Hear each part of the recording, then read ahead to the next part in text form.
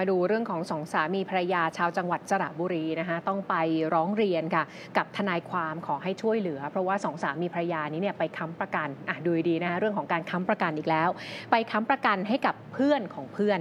คือคนที่เขาค้ำประกันเนี่ยเขาไม่รู้จักนะคะแต่ว่าเพื่อนเป็นคนมาขอร้องให้ช่วยค้ำประกัน เพื่อนอีกทีหนึ่งในการซื้อรถกระบะ แต่ว่าสุดท้ายค่ะ พอค้ำประกันให้เรียบร้อยแล้ว เจ้าของรถกระบะตัวจริงเนี่ยไม่เคยผ่อนชำระทำให้คนค้ำตอนนี้นะคะต้องถูกยึดบ้าน ถูกเอาบ้านไปขายทอดตลาดอะไปฟังเสียงกันค่ะ นี่เป็นเสียงบทสนทนาระหว่างสองสามีภรรยากับเพื่อนของเพื่อน ที่เป็นเจ้าของรถกระบะที่ซื้อไปแล้วไม่ยอมผ่อนค่ะ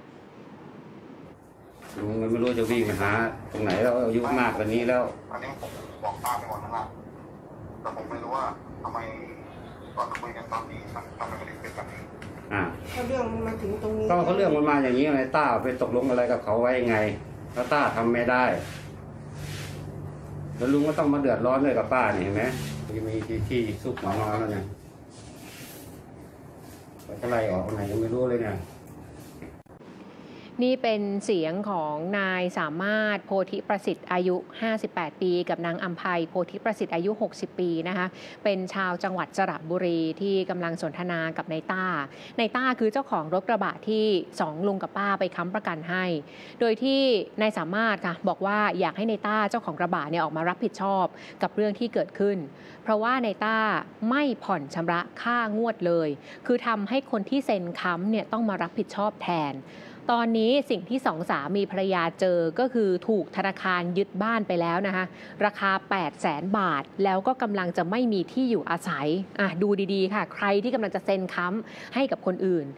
ล่าสุดค่ะ นายสามารถแล้วก็นางอัมภัยไปร้องขอความเป็นธรรมจากทางด้าน นายรณรงค์แก้วเพชร ประธานเครือข่ายทวงคืนความยุติธรรมในสังคม ให้ช่วยเหลือ หลังจากที่ไปเซ็นค้ำประกันซื้อรถให้กับคนที่คือต้องเรียกว่าไม่รู้จักกันมาก่อนนะเป็นเพื่อนของเพื่อน คือเพื่อนเนี่ยมาขอให้ไปช่วยก็เลยช่วยไป แต่พอค้ำเสร็จปุ๊บเจ้าของตัวจริงไม่ผ่อนส่งนายสามารถเล่าให้ฟังค่ะว่าปี 2555 เขาไปค้ำประกัน ซื้อกระบะให้กับเพื่อนของเพื่อน แต่ว่าไม่ส่งค่างวด จนกระทั่ง ถูกยึดค่ะ ปี 61 แล้วก็นายสามารถเนี่ยถูกฟ้องร่วมกับเจ้าของรถด้วย เพื่อให้ชดใช้ส่วนต่างจำนวน 80,000 บาท คือสิ่งที่สองสามีภรรยาต้องชดใช้คือจำนวนเงิน 80,000 บาทนะฮะจนกระทั่ง 30 มกราคม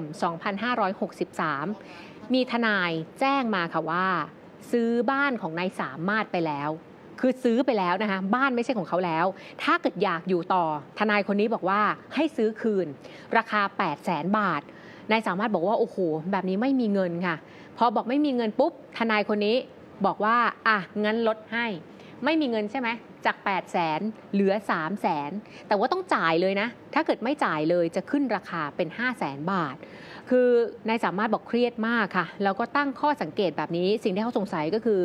บ้านหลังนี้เป็นมรดกตกทอดของภรรยา แต่ทำไมถึงถูกนำไปขายทอดตลาดได้ แล้วก็ทุกวันนี้เครียดมากจนกินไม่ได้ นอนไม่หลับ เพราะว่าหากจะต้องย้ายออกจากบ้าน ก็ไม่รู้ว่าจะไปอยู่ที่ไหน ไม่มีเงินเก็บ ไม่มีเงินสำรองด้วย เห็นเขาบอกว่ามีหมายสารมาใหม่ๆผมก็บอกว่าเขาเคลียร์แล้ว เขาไปประนอมหนี้แล้ว เขาจะขันอาสาว่าเขาจะเสียเองอะไรเอง อืมเขาโทรมาบอก ตั้งแต่เมื่อไหร่ ก่อนก่อนฟ้องหรือหลังฟ้อง ตั้งแต่หลังเลยรับหนังสือ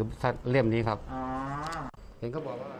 ขณะที่นายรณรงค์บอกค่ะว่าคดีนี้มีทนายคอยดูแลนะคะ แล้วก็มีการยื่นเรื่องคัดค้านการขายทอดตลาดไปแล้ว ซึ่งตามหลักการบังคับคดี หากเจ้าหนี้พบว่าลูกหนี้หรือว่าผู้ค้ำประกัน มีอสังหาริมทรัพย์ ก็จะตั้งเรื่องค่ะ อายัดบังคับคดีทันที เพราะฉะนั้นฝากเตือนประชาชนนะคะหากจะไปค้ำประกันให้กับใครเนี่ยควรจะคิดไตร่ตรองให้ดีก่อน เพื่อป้องกันไม่ให้เกิดปัญหาลักษณะนี้ขึ้นอีกค่ะ